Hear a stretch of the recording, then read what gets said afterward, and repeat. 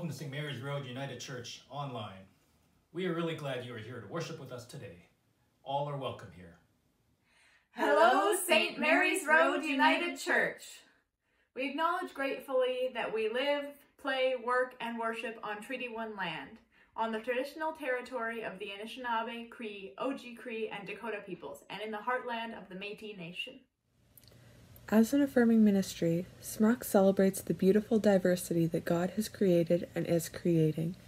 Just as God created night and day and many beautiful variations, such as dawn, dusk, twilight, sunrise, and sunset, that are not specified in the Genesis creation story, so God created male and female and many beautiful variations, such as trans, non binary, genderqueer, gender fluid, bigender, and two spirit, that are also not specified.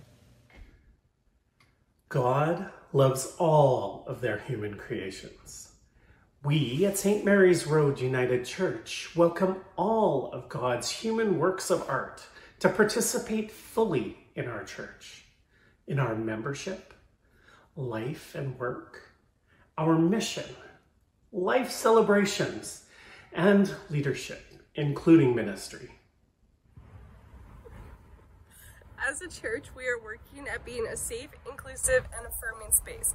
We are working constantly for healing, justice, dignity, and inclusiveness for all in our community and society. Christ has no human body now upon the earth but us, no hands but us, no feet but us, us, my siblings, are the eyes through which Christ's compassion has to look upon the world, and ours are the lips which Christ's love has to speak.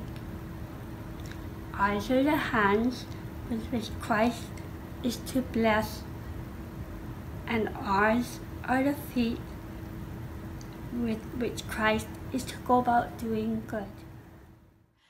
Come, let us worship our God who loves us all.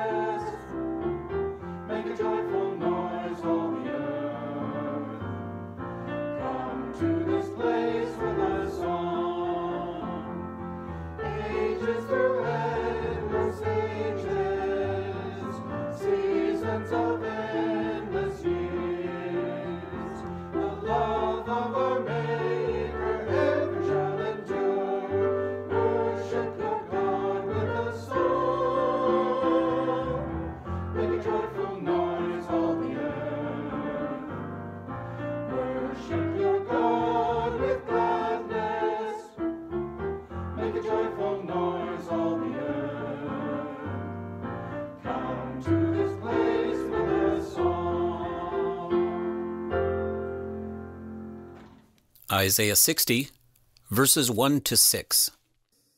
Arise, shine, for your light has come, and the glory of the Lord rises upon you. See, darkness covers the earth, and thick darkness is over the peoples. But the Lord rises upon you, and his glory appears over you. Nations will come to your light, and kings to the brightness of your dawn. Lift up your eyes and look about you. All assemble and come to you. Your sons come from afar, and your daughters are carried on the hip. Then you will look and be radiant. Your heart will throb and swell with joy. The wealth on the seas will be brought to you. To you the riches of the nations will come. Herds of camels will cover your land, young camels of Midian and Ephah. And all from Sheba will come, bearing gold and incense, and proclaiming the praise of the Lord. Matthew 2, verses 1 to 12. After Jesus was born in Bethlehem in Judea, during the time of King Herod, Magi from the east came to Jerusalem and asked, Where is the one who has been born King of the Jews? We saw his star when it rose and have come to worship him. When King Herod heard this, he was disturbed, and all Jerusalem with him. When he had called together all the people's chief priests and teachers of the law, he asked them where the Messiah was to be born.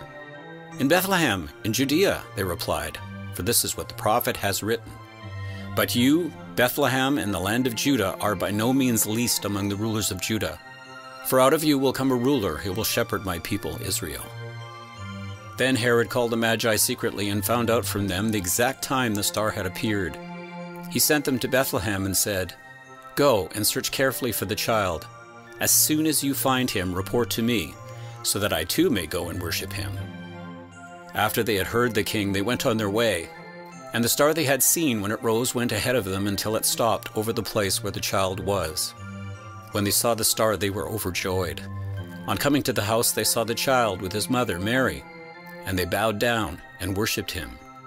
Then they opened their treasures and presented him with gifts of gold, frankincense, and myrrh. And having been warned in a dream not to go back to Herod, they returned to their country by another route.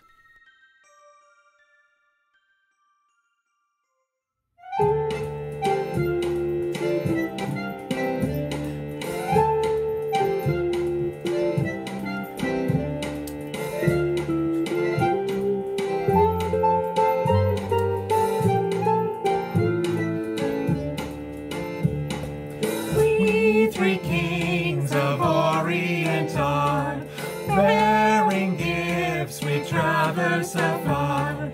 Field and fountain,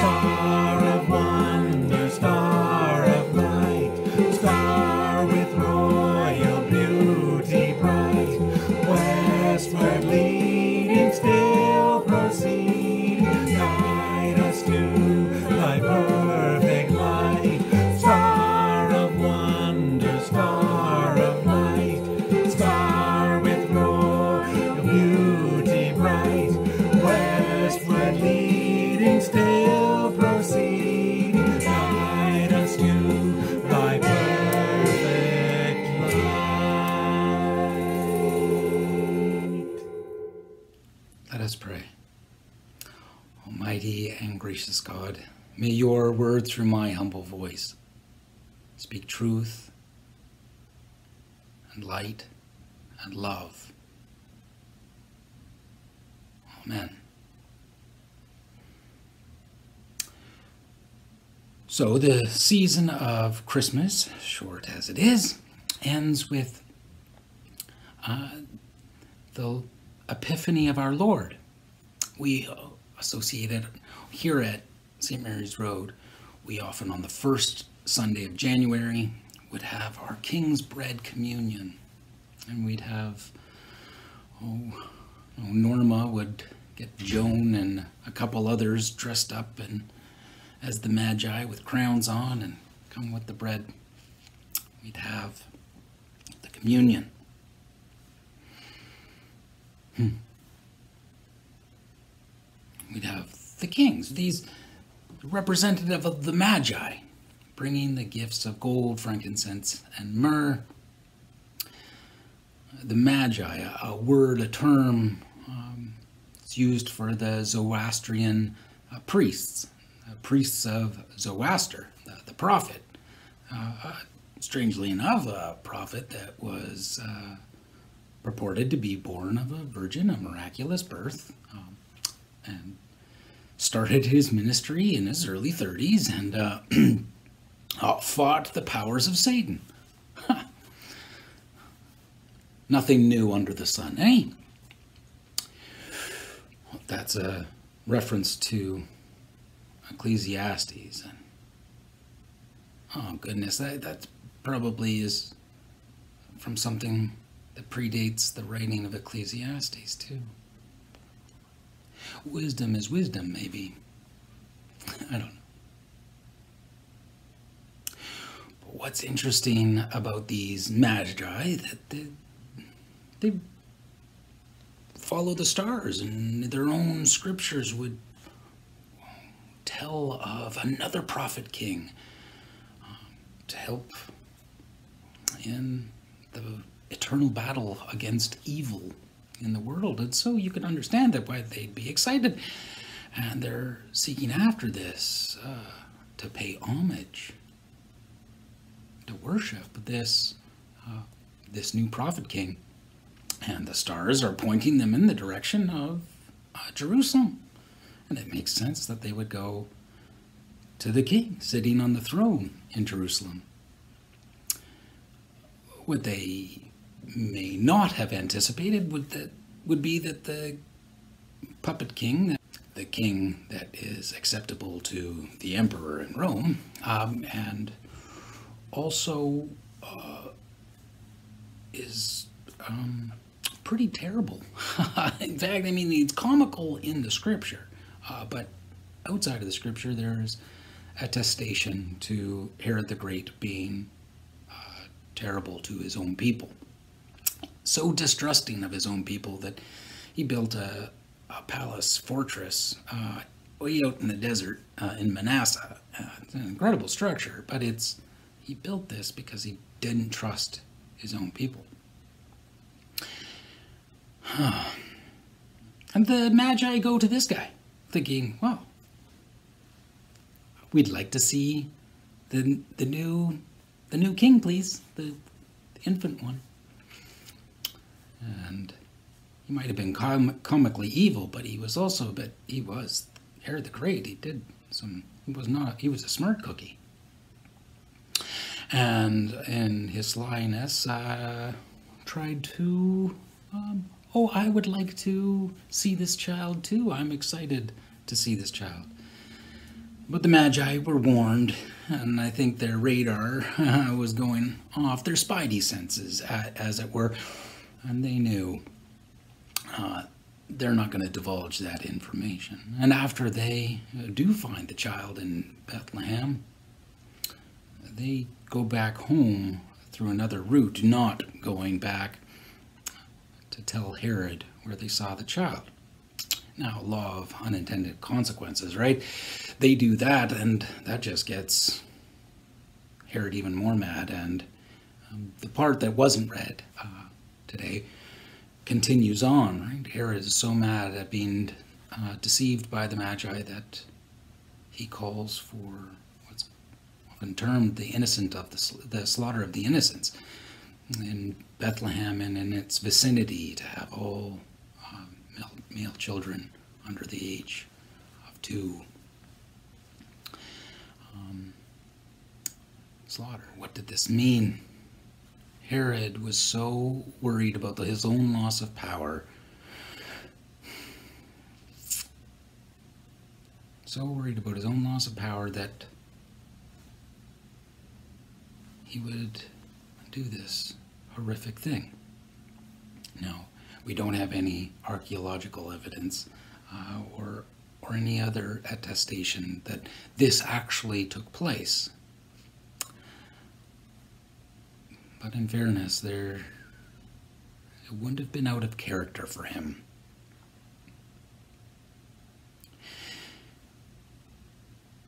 Why was he so scared? Why was he so fearful? One of the things that Amy pointed out to me, um, I want to give credit to Amy here, is is the way in which uh, our children's pageant, Christmas pageant this year, in some ways foreshadows the story of power uh, and those with power um, being anxious when presented with the idea of the incarnate one, the Emmanuel, God's child. And I hope if you haven't seen uh, the pageant. I don't want to ruin it for you. You should totally see it. Kids did a great job, hilarious, and Twyla did a wonderful job stitching it together. It's, I've watched it several times. Very funny. But this idea, the anxiety is in the plot. Won't ruin everything, but we've got superheroes that are anxious because they hear of this Emmanuel coming they're worried about losing their position, their job. And I honestly had not clued in because I see the superheroes as benevolent ones, right? They're, they're the good guys. They're the ones that are on the side of truth and justice and the good. Why would birth of the Godchild be upsetting to them, make them nervous. It reminds me of the fact that the gospel is not like powers of this world. It shakes the foundations of everything, challenges everything that we know, and should constantly be challenging any structures that we put up. One of the most disturbing things on this one year anniversary from uh, the insurrection on the U.S. Capitol was the Christian symbolism and, frankly, the ardent, uh, passionate way in which those that were doing that, many of them, saw this as an extension and expression of their faith, their Christian identity to do this. And so it's understandable that some would say, well, this gospel stuff, what good can it be if it leads to this?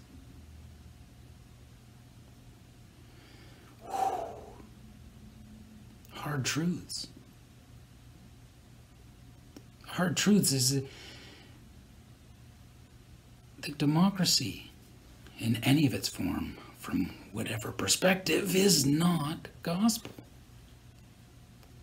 Right?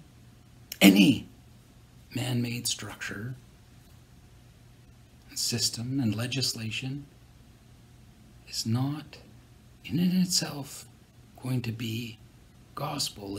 The gospel is the light that should be shining on all things, helping us to analyze it.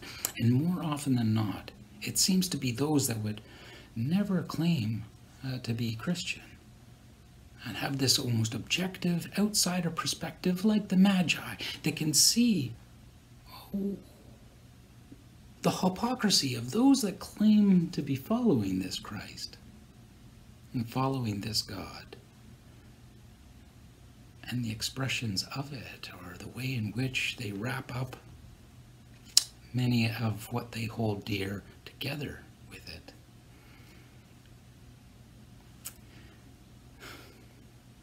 That's hard. That's hard for all of us to hear because it's it's not just the comically bad that the gospel challenges. It's supposed to be shining a light on all of our lives, even those, maybe even especially those things that we hold dear to us, cherish. That we're maybe not so willing to let go of.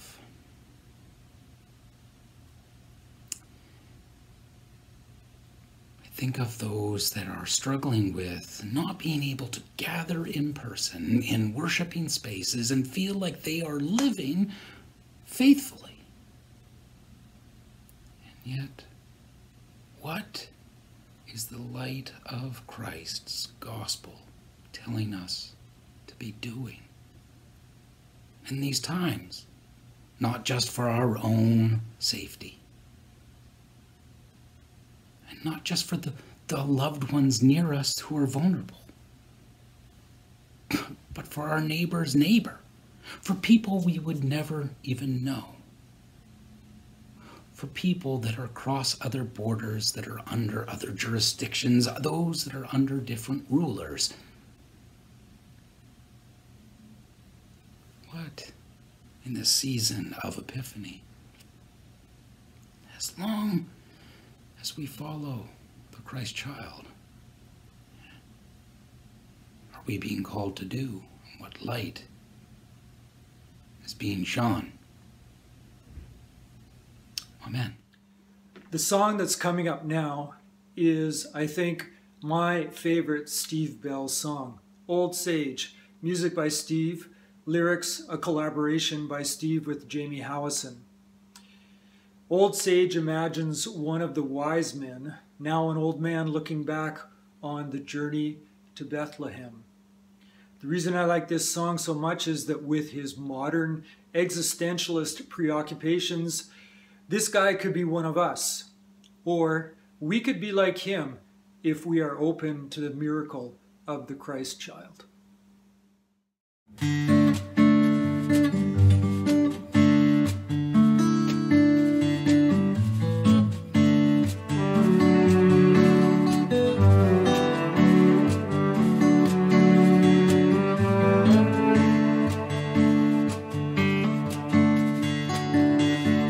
Tell you how it started still. Those are days that I remember well. There was something in the stars, knew enough to tell there was something going on. So we set out for a foreign land, no idea what we just might find when you follow in the star. You gotta walk at night, sounds crazy, but now still the search goes on for my way back home. I can't go back the way I've known. And now the road for me has changed. Nothing seems to look the same. Don't get me wrong,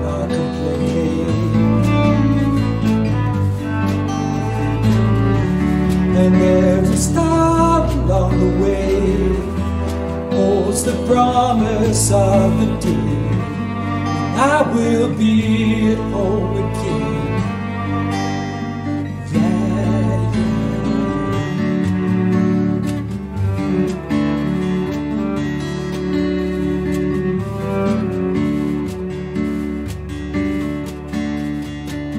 Some say that I'm a wise man a kind of sage, you know, it makes me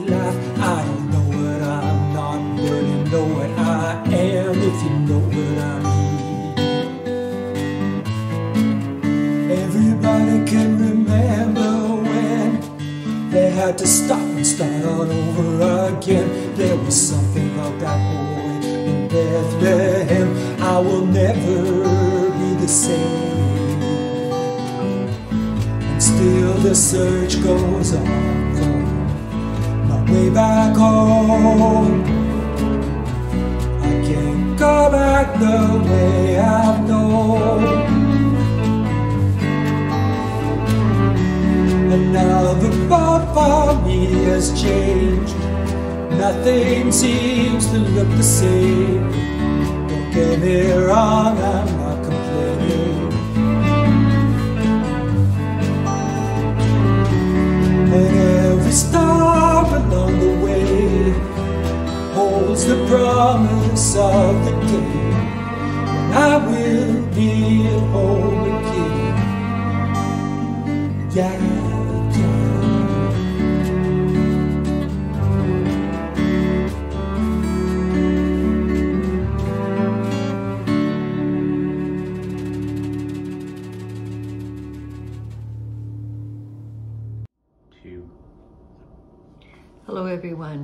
Best wishes for your new year. Let us be a people at prayer. Holy God, as we enter this new year, we thank you for your presence with us in these challenging times. We have known joy and also sorrow, success and failure, gifts and loss, hope and despair. And through it all, you are with us, the companion of all our journeys. For those of us who are immersed in grief, sickness, fear, or unknown, help us to open ourselves to your comforting presence, your loving wisdom, your tender strength, your enabling courage, your abundant love. For those of us able to companion, help us to live out our prayers. We pray especially for Gwen Radley and family on the passing of George, for Ted Stevens' family and friends, for Kathy Trechak, Dawn and Donna Winstone, Gina Miner, Lydia Peters, Andy Miller, Eric and Ashley for health and well-being, and others in our church community who are struggling. We remember the victims of Colorado fires, climate change and its resulting storms, genocide in various forms, the unknown and fear for the people of Taiwan and the Ukraine, and of careless societies, including our own. We pray for the homeless in our city and so many homeless refugees in our world. Be with leaders in our community, country, and around the world as we work with them to look for new solutions for peace with justice and right relations. Much of life is fleeting, and so we thank you for the things that endure, the love of faithful friends and family, wisdom gained from experience, the strength we receive from you, and your steadfast love. Like the Magi, let us be willing to leave familiar patterns to follow our dreams. Help us when we see evil to refuse to cooperate with it. Let us, like the Magi, be willing to go home another way when needed. We thank you for this new year which awaits us. Help us to open our hearts and minds that you may lead us on. Amen.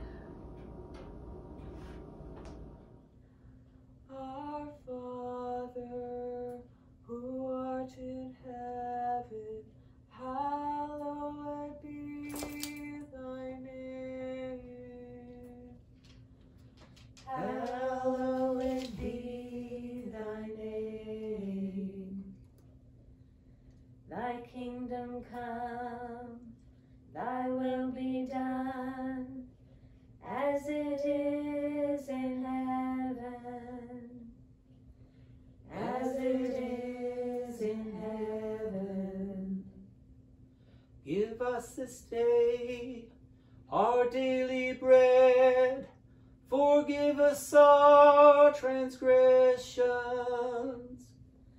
Forgive us our transgressions. And lead us not into temptation, but deliver us from evil. For thine is the kingdom and the power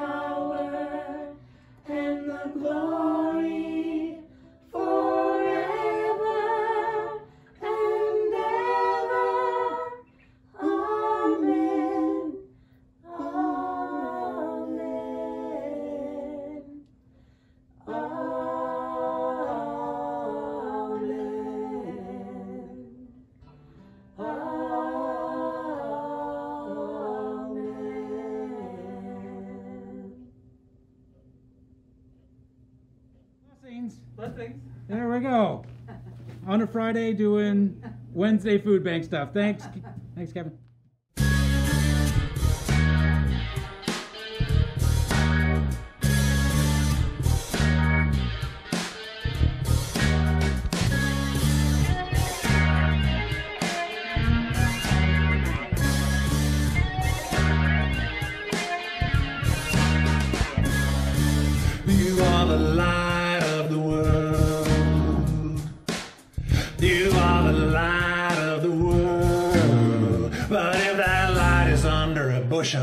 It's like something kind of crucial. You gotta stay bright to be the light of the world. You are the salt of the earth. You are the salt of the earth. But if that salt is lost its flavor, ain't got much to its favor. You can't have that fault and be the salt of the earth. So let your light soar.